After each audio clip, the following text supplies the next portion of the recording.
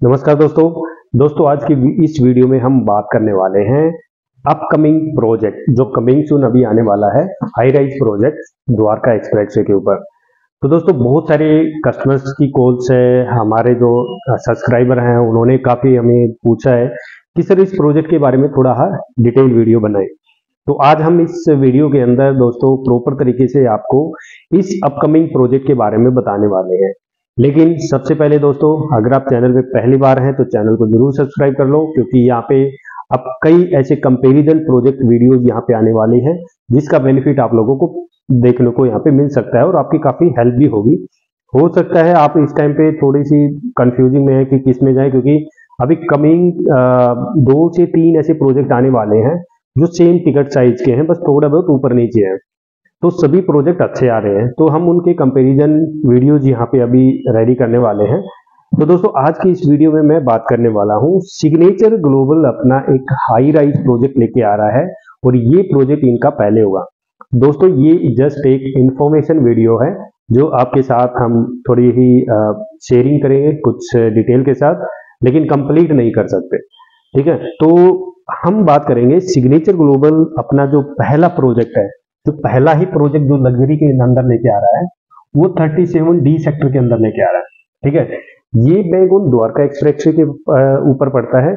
एक हम इससे आगे एक वीडियो बनाएँगे, जिसके अंदर हम आपको एक्चुअल लोकेशन आपको डिजिटल तरीके से भी और एक्चुअल वहाँ की लोकेशन की भी आपको उस वीडियो के साथ शेयर करेंगे और वहाँ पे कुछ नेगेटिव पॉइंट भी हैं, जो आई थिंक आपके मन में भी आ रहे होंगे।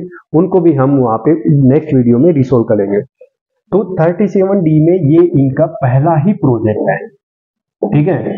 और इस प्रोजेक्ट के आसपास की अगर जेंट्री की बात करें तो इनका ही खुद का ही दीन दयाल का लो राइज का प्रोजेक्ट है। और लो राइज के प्रोजेक्ट मतलब दीन दयाल का, यानी दीन दयाल के कंसेप्ट के ऊपर उन्होंने वहाँ पे चार फ्लोर बना रखे हैं। और चारों फ्लोरों का या उस प्रोजेक्ट का आप बहुत अच्छा रिव्यू वहाँ पे आपको देखने को मिला था। जब इन्होंने लॉन्च किया था अच्छा खासा रिसेलिंग वैल्यू वहाँ पे है और प्रोजेक्ट भी अच्छा खासा बिक गया था क्योंकि डिमांड थी। उसके बाद दीन दयाल जैसे ही बंद हुआ तो वहाँ पे डिमांड और ज़्यादा बन गई है। जैसे ही ग्लोबल सिटी की जो अनाउंसमेंट हो रही है बार बार तो लोग क्या कर रहे हैं कि ग्लोबल सिटी के आसपास की जो प्रॉपर्टी है, उसके प्रति इंटरेस्ट थोड़ा ज़्यादा शो कर रहे हैं। तो लो राइज के अंदर इसलिए जा रहे हैं क्योंकि लोगों का जो बजट है, वो वहीं पे सेट हो रहा है और लग्जरी प्रोजेक्टों का जो कंसेप्ट है, वो साइज़ भी बढ़ा रहा है और प्राइस भी ज़्यादा आ रहे हैं। तो इसलिए लो राइज की जो टाउनशिप है, वहाँ पे लोग थोड़ा सा ज़्यादा आने लग गए हैं रीसेल वहाँ पे ट्राई कर रहे हैं कि सबको पता है कि आगे जाके तो ये प्रॉपर्टियाँ और महँगी हो जाएगी। तो सिग्नेचर ग्लोबल ने जो लैंड पार्सल था मोस्टली रामप्रस्था से बाई किया था वहाँ पे 37 डी में मेजर लैंड बैंक रामप्रस्था के पास था इस सेक्टर का। और इन्होंने रामप्रस्था से खरीद के ही वहाँ पे दीनदयाल बनाया। उसके बाद अब लग्जरी है। पहले इन्होंने मिलेनिया फोर वहाँ पे जो अफोर्डेबल प्रोजेक्ट था वो बना था। उससे पहले इन्होंने वहाँ पे Millennia one, Millennia two, Millennia three, ये तीन प्रोजेक्ट सिग्नेचर ने वहाँ पे अफोर्डेबल के बनाए हुए हैं। तो 37 डी में ही सिग्नेचर के बहुत सारे प्रोजेक्ट हैं। इन्होंने अफोर्डेबल का कंसेप्ट वहाँ पे ला रखा है। वहाँ पे S U plot Signature Global ने वहाँ पे लॉन्च किए थे। सिग्नेचर ग्लोबल ने दो मिड सेगमेंट के लो राइज के प्रोजेक्ट वहाँ पे लॉन्च किए गए हैं। लेकिन अभी इनका ये पहला लग्जरी प्रोजेक्ट आ रहा है। लमसम इसकी अगर लैंड पार्सल की बात करें, क्योंकि लाइसेंस आ गया है तो 16.69 एकड़ इनका टोटल लैंड पार्सल आता है। टोटल लैंड पार्सल की अगर हम बात करें, जो टोटल लैंड है वो 16.69 एकड़ की लैंड पार्सल है। ठीक है दोस्तों, इस 69 एकड़ इसके अंदर जो टोटल हम सत्रह एकड़ मांग सकते हैं, मान लीजिए आपका ये लैंड पार्सल है। ठीक है कुछ इस तरीके का। ठीक है दोस्तों, और यहाँ से ये है द्वारका एक्सप्रेस वे जस्ट ये आपको समझाने के तरीके से मैं बता रहा हूँ। आप जैसे कि क्लोरली फ्लाईओवर की तरफ़ से आते हैं और यहाँ से ये फ्लाईओवर से ऐसे जाते हैं। ठीक है? यहाँ पे एक पुलिस चौकी बनी हुई है और फिर ये रामप्रसाद सिटी के अंदर से चला जाता है और यहाँ से एक नाला है ऐसे और ये रोड इस यहाँ से ऐसे चला जाता है ये सीधा। ठीक है? ये टी पॉइंट बन जाता है और यहाँ से फिर एक नाला आ रहा है ऐसे बगल से, ये नाला आ रहा है ऐसे। ठीक है? और फिर यहाँ से रामप्रस्ता की सिटी का एक यहाँ पे हाई राइज है रामप्रस्ता के। तो इसके अंदर चला गया। उसके बाद यहाँ पे सिग्नेचर की जो मिलेनिया फोर है, उसका ये प्रोजेक्ट है, जो कि अफोर्डेबल है। ठीक है? ये इनका अफोर्डेबल है, शायद नेक्स्ट नेक्स्ट ईयर में मे बी ये डिलीवर कर दें या उससे अगले साल कर दें। तो एक तो ये 24 मीटर रोड है जो बना हुआ है जिससे आप जाते हैं। ठीक है? और ये नाला हो गया। अभी ये आप यहाँ पे जो प्रोजेक्ट इनके हैं, वो है लो राइज के प्रोजेक्ट ठीक है? जो दीनदयाल की है। तो ये वाली जो साइट है, ये टोटल है सत्रह एकड़ की साइट यहाँ पे। तो अभी इसमें एक तो ये है कि ये 24 मीटर रोड से यहाँ से एंट्री है इसकी। उसके बाद एक रोड और आना है जो बीचों बीच जाएगा इसके, जो 24 मीटर रोड का है। आप मिलेनिया की साइड देखना, यहाँ पे दो एक टावर यहाँ पे छोड़ रखे हैं, फिर इसके बीच में यहाँ पे गैप है। तो ये 24 मीटर रोड है और यहाँ पे एक साइट आती है नवराज डेवलपर की, जिसके बगल से 24 मीटर रोड है ऐसे।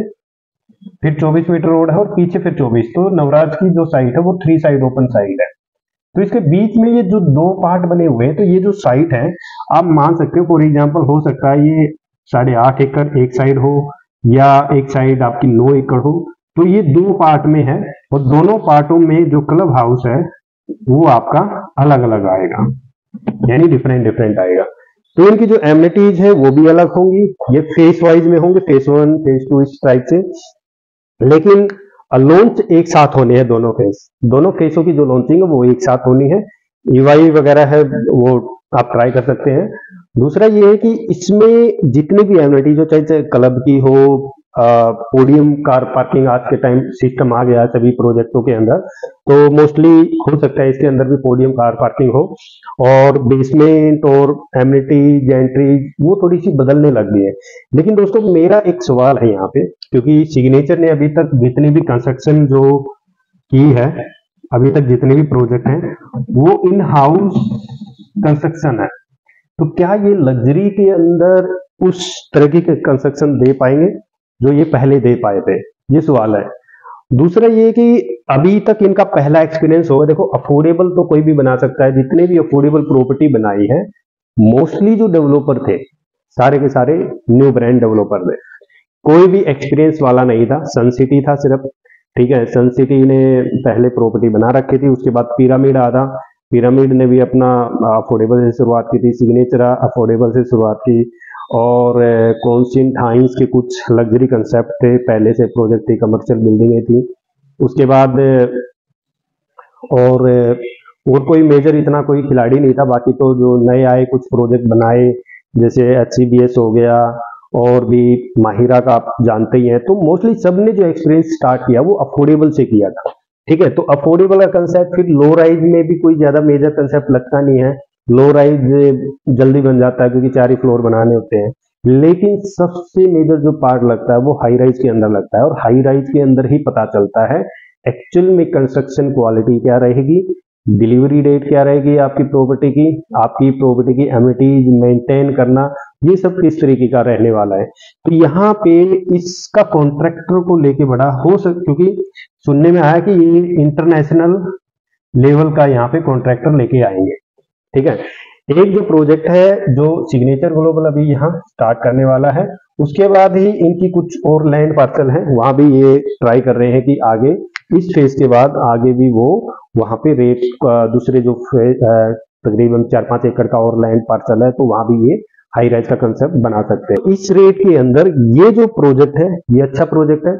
और साथ के साथ मैं कहूँगा कि आप जब ये देखने जा रहे हो सिग्नेचर ग्लोबल का अच्छा प्रोजेक्ट है ब्रांड अच्छा है कि मार्केट के अंदर काम कर रहा है टाइम पे डिलीवरी है और कंस्ट्रक्शन आप जानते हैं क्योंकि ऑलरेडी प्रोजेक्ट बन रहे हैं। किस हिसाब के, देखो सबके टेस्ट अलग अलग होते हैं। कोई किसी डिज़ाइन की प्रॉपर्टी माँगता है, कोई किसी डिज़ाइन की प्रॉपर्टी माँगता है। तो अभी जो द्वारका एक्सप्रेस में ये बेनिफिट है कि इसके बगल में लो राइज की टाउनशिप है, उसके बाद फिर द्वारका एक्सप्रेस नज़दीक है और आपकी जो ग्लोबल सिटी है, वो नियर बाई में आनी है। अगर मैं इस पार्ट से, जो ये 37 डी के इस साइड जो हाई राइज आ रही है, मैं इस साइड की बात करूँ 37 डी के इस साइड यहाँ पे सारी की सारी ओल्ड डेवलपमेंट देखने को मिलेंगी, पुरानी प्रॉपर्टी मिलेंगी स्टक प्रोजेक्ट मिलेंगे सिंगल टावर प्रोजेक्ट मिलेंगे। किसी दिन आपको मैप से समझाऊँगा उसको तो थोड़ा और क्लियरिटी से आप समझ जाओगे। तो ये जो चीज़ें हैं दोस्तों, अभी अगर इस बजट में देखोगे तो गुड़गांव आप थोड़ा ट्राई करोगे। एक एडोर है जो थोड़ा बहुत ठीक रेट में है उसके बाद ये है। अगर ब्रांड पे जाना चाहते हो। तो सिग्नेचर ग्लोबल की जो एप्लीकेशन ज़्यादा ही आनी है क्योंकि आ, सभी वेट कर रहे हैं इस प्रोजेक्ट का और इस रेट के आसपास की कोई अच्छी चीज़ें है नहीं मार्केट में। अभी रिसेंटली डीएलएफ ने जो प्रोजेक्ट लॉन्च किया उसमें तुरंत ईवाई का भी कंसेप्ट आया था कि ज़्यादातर कस्टमर हैं जो बायर हैं वो नहीं कर पाए थे। तो उसके बाद यहाँ पे क्रिसोमी भी आ रहा है, उसके बाद यहाँ पे अडानी भी आ रहा है, हाइस भी आ रहा है, यहाँ पे नवराज है, वो ट्राई कर रहा है। उसके बाद और भी इधर जो राम प्रस्ता का लैंड पार्सल इधर काफ़ी पड़ा है, उसके बारे में कुछ और न्यूज़ चल रही है तो हो सकता है वहाँ भी कोई बड़ा प्लेयर यहाँ पे आ सकता है। तो इसलिए जो ये वाला जो एरिया है, अब ये उभर के आने वाला है। वैसे 37 डी जो सेक्टर है, वो सबसे पुराना सेक्टर है। Thirty seven C, thirty seven D, ये सबसे पुराने सेक्टर है और सबसे पहले मोस्टली उस एरिया की अगर बात हो तो उन्हीं सेक्टरों के अंदर डेवलपमेंट हुई थी। और आज सबसे बैकवर्ड जो सेक्टर वही लगते हैं, क्योंकि बहुत पुराने सेक्टर हैं। हाँ आपका एक कंसर्न और आ सकता है कि जी वहाँ पे तो ना नाले का है। मैंने नाले के ऊपर ना एक वीडियो बनाई हुई है। उसका लिंक आपको नीचे डिस्क्रिप्शन में मिल जाएगा। उस नाले को क्या कर दिया है? जो सेक्टर 90 और ग्लोबल सिटी के अंदर से जो नाला आ रहा है वो तो द्वारका एक्सप्रेस के साथ साथ है ऑलरेडी बनाया हुआ है ठीक है? उसको ट्रांसफ़र करने वाले हैं जल्दी। दूसरा जो अपना जो एन से फिर ग्लोबल सिटी के अंदर से होता हुआ राम प्रस्ता की प्रॉपर्टी के बगल से होता हुआ आ रहा है उसको कवर कर दिया जाएगा क्योंकि उसका फेस वन को कवर कर दिया गया है और अभी आ, कुछ टाइम पहले ही न्यूज़ आ गई थी उसको 2025 तक जीएमडीए प्रॉपर कवर कर देगा। अगर नाले के प्रति कोई कंफ्यूजिंग है आपकी भाई नाला है तो नहीं जा सकते तो आप उसके बारे में मत सोचो, आप प्रॉपर्टी बाई कर सकते हो, क्योंकि वो जल्द 2025 या उससे आगे, क्योंकि प्रॉपर्टी को चार से पाँच साल लगेंगे आपके, और हाई राइज है, हो सकता है उससे ज़्यादा भी। तो आपको प्रॉपर्टी जब तक मिलेगी हाई राइज की, उस टाइम तक आपको वहाँ आसपास में कोई भी नाला नहीं दिखाई देगा। और वहाँ पे मोस्टली जो प्रोजेक्ट है, वो आपको वहाँ पे डिलीवर्ड दिखेंगे, लोग रहते हुए नज़र आएँगे। और ग्लोबल सिटी का जो काम है, वहाँ पे आईटी जो एम्प्लॉयमेंट है, वो मोस्टली वहाँ पे सेट हो चुका होगा और आ भी चुका होगा। तो दोस्तों सिग्नेचर ग्लोबल के रिगार्डिंग कुछ और भी है इसमें कुछ चीज़ें हैं बताने वाली। तो आप उसके रिगार्डिंग में जैसे कि रेट ईवाई वगैरह कैसे करना है, किस टाइप की आपको यूनिट बाई करनी चाहिए, कब क्या करना है तो उसके रिगार्डिंग आप कांटेक्ट कर सकते हो और मिल सकते हो, क्योंकि जनवरी के अंदर ये प्रोजेक्ट है, वो लॉन्च होने वाला है और अप्लीकेशन ज़्यादा आ सकते हैं और मे भी अगर ज़्यादा आगे तो सिग्नेचर की तो हैबिट है कि हो सकता है वो ड्रो से आपको अलॉटमेंट करे। तो पेमेंट प्लान वगैरह ये सब जानने के लिए आप कॉन्टैक्ट कर सकते हैं, मिल सकते हैं। थैंक यू दोस्तों।